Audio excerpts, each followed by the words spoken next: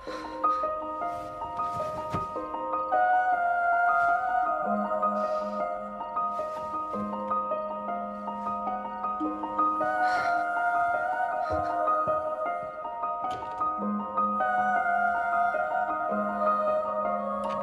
ma kuulen, samas ei. tark tunneb riske, kuid väldib neid. Mul on tuhat põhjust argipäeva jätkata. palun ka mu kõrvust sosin, mis mind äratab. Oh.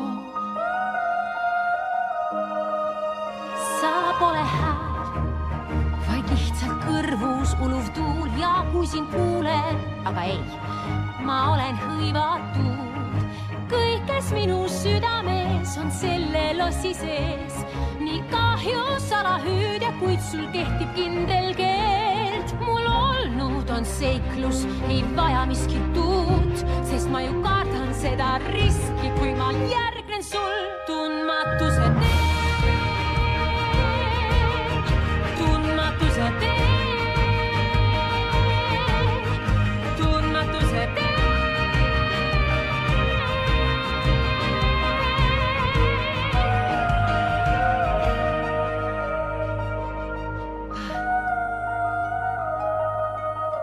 mis tahad sa, kui minult une röövid nii?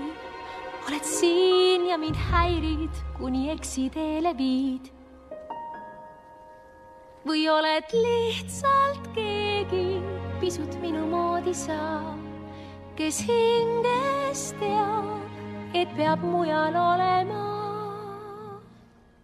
Iga päev on pisut raskem, kui mul kasvab vägi sees, tead, et osa minust minna.